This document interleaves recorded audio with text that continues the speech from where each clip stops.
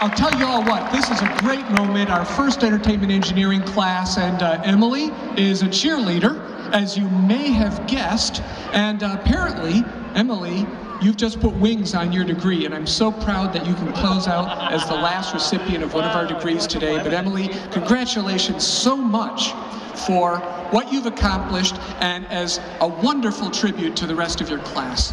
Thank you so much.